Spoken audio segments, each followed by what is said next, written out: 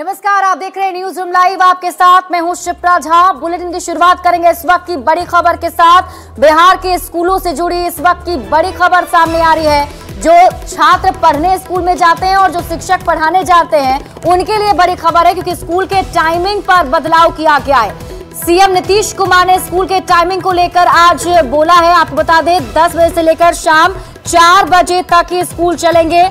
बिहार विधानसभा में सीएम नीतीश कुमार ने स्कूलों की टाइमिंग को लेकर ये बड़ा बयान दिया है मुख्यमंत्री नीतीश कुमार ने सुबह 10 बजे से शाम चार बजे तक स्कूलों की टाइमिंग रखने की बात कही है सीएम नीतीश कुमार ने कहा कि उन्होंने पहले ही अफसरों को निर्देश दे दिया था इसे लेकर वो बिहार शिक्षा विभाग के अपर मुख्य सचिव के के पाठक से भी बात करेंगे सुनिए सीएम ने क्या कुछ कहा है तो ये शिक्षकों के बारे में वो डिपार्टमेंट में उसने कर दिया था कि 9 बजे से 5 बजे।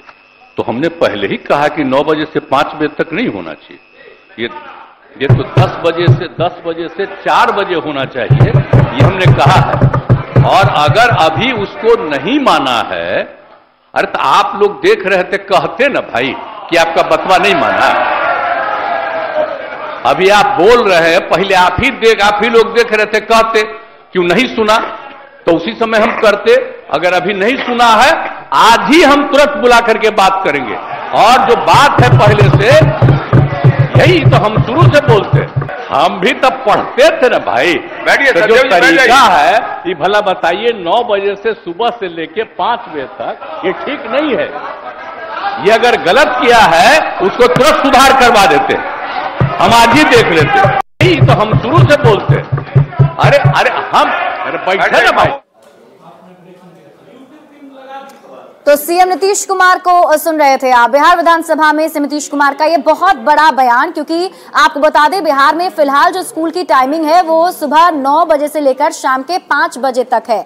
जिसको जिसको लेकर बदलाव की मांग उठाई जा रही थी, शिक्षकों की तरफ़ से भी टाइमिंग में बदलाव की मांग की जा रही थी, और आज बिहार विधानसभा में विपक्ष ने इस पर सवाल उठाए। तो सीएम नीतीश कुमार ने इसका जवाब देते हुए कहा है कि सुबह दस बजे से शाम चार बजे तक ही स्कूल चलेंगे और इसको लेकर उन्होंने पहले ही निर्देश अफसरों को दे दिए थे।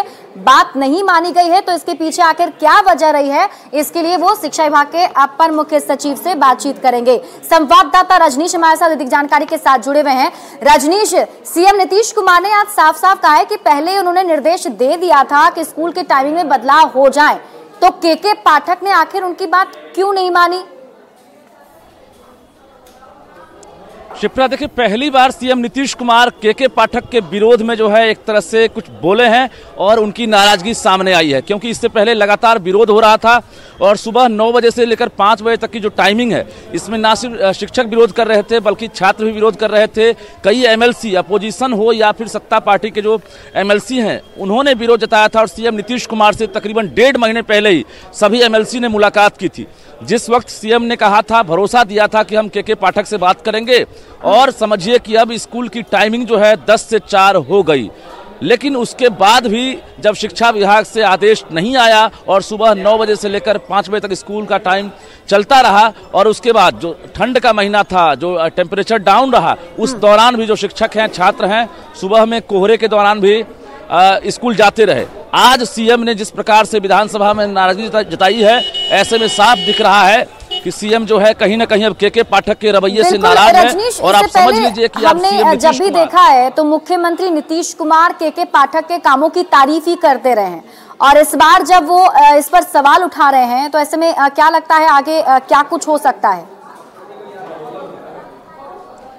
देखिए अब सीएम नीतीश कुमार ने सदन में जिस प्रकार से अभी नाराज़गी जताई है ऐसे में अब साफ़ तौर से समझिए कि आज शाम तक या कल तक हर हाल में शिक्षा विभाग के एस के के पाठक को अपना आदेश बदलना होगा और जो नया आदेश है, सुबह 10 बजे से लेकर शाम चार बजे तक स्कूल की टाइमिंग की, वो आदेश अब कहीं ना कहीं अब फॉलो किया जाएगा। तो अब सीएम नीतीश कुमार साफ़ ये भी कह रहे थे कि आप पहले बताते, यानी विधायकों को उन्होंने साफ़ कहा कि आप पहले बताते, अगर आपकी बात नहीं माने हैं तो समझ लीजिए कि आज सीएम जिस प्रकार से नाराज़ हुए हैं तो आज ही पत्र जारी हो सकता है और जो शिक्षक हैं बिहार के, उनके लिए एक बड़ी राहत की खबर हो सकती है, क्योंकि के पाठक जिस प्रकार से आदेश जारी करते हैं, वो आदेश जल्दी वापस नहीं होता है। लेकिन अब मुख्यमंत्री हस्तक्षेप करेंगे और जिस प्रकार से उन्होंने बयान दिया है, अब निश्चित रूप से सुबह दस बजे से चार बजे ही स्कूल की टाइमिंग होगी। जी शिप्रा। बिल्कुल रजनीश, कई सारी और भी मांगे शिक्षकों की तरफ़ से की जा रही थी।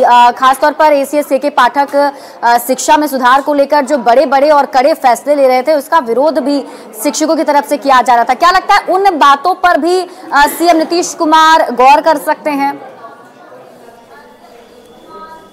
देखिए, अब महागठबंधन की सरकार नहीं है, अब सरकार एनडीए की है। तो कुल मिलाकर के के पाठक के जो पत्राचार करने का तरीका है, उसमें भी आप देख सकते हैं कि कमी आई है। जिस प्रकार से लगातार वो कड़े पत्र जारी करते थे, उस पत्राचार में अभी कमी आई है। इशारा काफ़ी है और समझिए कि सीएम जिस प्रकार से अभी नाराज़ हुए हैं तो कहीं ना कहीं के के पाठक के जो आदेश हैं उस आदेश को आज ही समझिए कि अब उनको पलटना होगा। दूसरी बड़ी बात है, सक्षमता परीक्षा को लेकर जो बिहार के नियोजित शिक्षक हैं, उनको भी बल मिला है, क्योंकि सीएम नीतीश कुमार पहली बार शिक्षा विभाग के मामले में इस प्रकार से नाराज़ हुए हैं और के के पाठक के प्रति उन्होंने कुछ कहा है। तो अब सक्षमता परीक्षा को लेकर भी जो शिक्षक हैं, वो उम्मीद में है कि आज सीएम नीतीश कुमार हो सकता है कि आज के के पाठक से बुलाकर बातचीत करें, जहाँ पर शिक्षा विभाग के और अधिकारी हो सकते हैं, क्योंकि कई अधिकारियों के साथ वार्ता की बात कही जा रही है। जो सूत्र बता रहे हैं कि दीपक कुमार जो सीएम के प्रधान सचिव हैं वो शिक्षा विभाग से कहीं ना कहीं पूरी जानकारी भी मांग दी है सक्षमता परीक्षा को लेकर। तो अब स्कूलों की टाइमिंग के साथ साथ जो बाकी समस्याएँ हैं वो कहीं ना कहीं कहा जा रहा है कि 24 से 48 घंटे के भीतर जो है सॉर्ट आउट होने की संभावना है क्योंकि सीएम अब खुद जो है जिस प्रकार से अभी खुलकर बोले हैं कि स्कूलों की टाइमिंग जो है हम बर्दाश्त नहीं करेंगे सुबह नौ से पाँच ऐसे में कई और बदलाव होने की भी संभावना है और बिहार के टीचर जो है उम्मीद में बैठे हुए हैं। शिप्रा। बिल्कुल रजनीश क्या लगता है आपको और कितना वक्त लगेगा इसके फाइनल होने में? क्योंकि सीएम नीतीश कुमार आज काफ़ी इसको लेकर कड़ी आपत्ति उन्होंने जताई है और साथ ही साथ कहा भी है कि जल्द से जल्द निर्देश जारी कर दिया जाएगा। तो क्या माना जाए, एक से दो दिनों में बदलाव देखने को मिल सकते हैं? के के पाठक के रवैये से जिस प्रकार से भी सीएम नाराज़ हुए हैं और सीएम को ये भी पता है कि राजभवन भी के के पाठक से खुश नहीं है। मैं आपको बता दूँ पिछले 24 घंटे का एक पत्र राजभवन से जारी हुआ है जिसमें विश्वविद्यालयों के तमाम वाइस चांसलर को रजिस्ट्रार को यह आदेश दिया गया है कि शिक्षा विभाग का जो दो और तीन मार्च को जो वर्कशॉप है उसमें शिक्षा विभाग के आदेश को आपको नहीं मानना है। और विश्वविद्यालय के तमाम जो अधिकारी हैं उनको अनुमति नहीं दी जाती है कि शिक्षा विभाग के वर्कशॉप में आप जाएँ। तो राजभवन और के के पाठक के बीच जो रिश्ते हैं उसमें खटास है और दूसरी तरफ़ सीएम नीतीश कुमार बहुत बहुत शुक्रिया तमाम जानकारी के लिए और दर्शकों को एक बार फिर से सुनाते हैं। आज सीएम नीतीश कुमार ने बिहार विधानसभा में क्या कुछ कहा है? ये शिक्षकों के बारे में वो डिपार्टमेंट में उसने कर दिया था कि 9 बजे से 5 बजे। तो हमने पहले ही कहा कि 9 बजे से 5 बजे तक नहीं होना चाहिए। ये ये तो 10 बजे से 10 बजे से 4 बजे होना चाहिए, ये हमने कहा है। और अगर अभी उसको नहीं माना है अरे तो आप लोग देख रहे थे, कहते ना भाई कि आपका बतवा नहीं माना। अभी आप बोल रहे हैं, पहले आप ही देख, आप ही लोग देख रहे थे, कहते, क्यों नहीं सुना? तो उसी समय हम करते, अगर अभी नहीं सुना है, आज ही हम तुरंत बुला करके बात करेंगे। और जो बात है पहले से, यही तो हम शुरू से बोलते हम भी तब पढ़ते थे ना भाई। बैठिए तो जो तरीका है ये भला बताइए नौ बजे से सुबह से लेके पाँच बजे तक ये ठीक नहीं है। ये अगर गलत किया